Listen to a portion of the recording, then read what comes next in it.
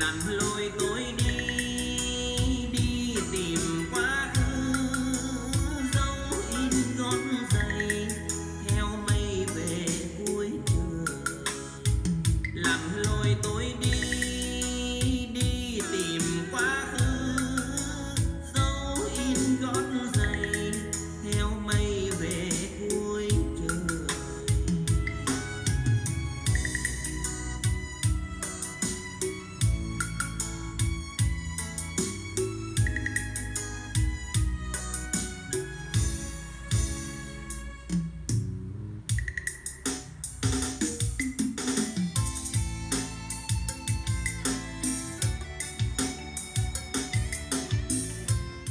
Xin chào toàn thể anh em nhé Hôm nay mình xin giới thiệu đến anh em một con âm ly đờ lông.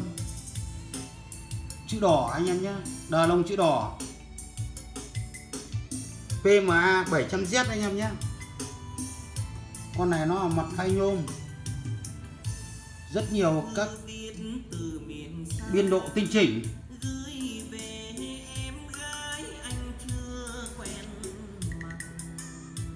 Con này của nó là chạy bốn con sò sắt san, san gen anh em nhé. Tăng phô đúc hai tụ lọc và rất nhiều cấu tạo linh kiện cao cấp khác.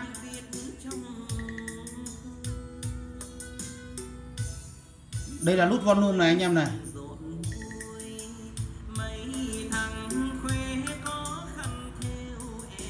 Và đây là nút chỉnh chép này anh em này.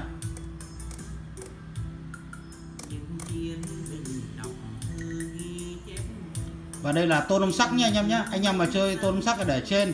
Còn anh em chơi đi rách thì gạt xuống dưới. Là nó chơi đi rách. Đấy, tôn âm sắc và đây là chỉnh bát anh em nhé đi hết này anh em này. Và đây là cầu loa. Đây là mình đang chơi ở cầu A. Về đây là tắt. Về đây là cầu B. Và về đây là AB cộng.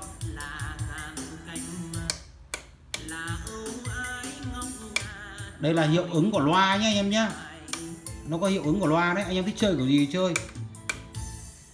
Và đây là power nguồn. Nó có một cái đèn báo nguồn. Và đây là tu level. Là nó, nó cũng có hiệu ứng anh em nhé đây ví dụ như là nó 320 Hz và dưới này của nó là đấy, anh em thích chơi ở hiệu ứng nào là thì chơi.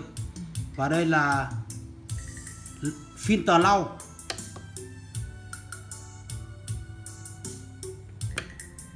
Và đây là hai filter đấy, anh em thích chơi hiệu ứng nào là tùy anh em. Và đây là tu level. Có nghĩa là mình tăng lên trên thì cái chép của nó là mình để giữa là mặc định anh em thích nghe ở cái biên độ nào thì anh em nghe.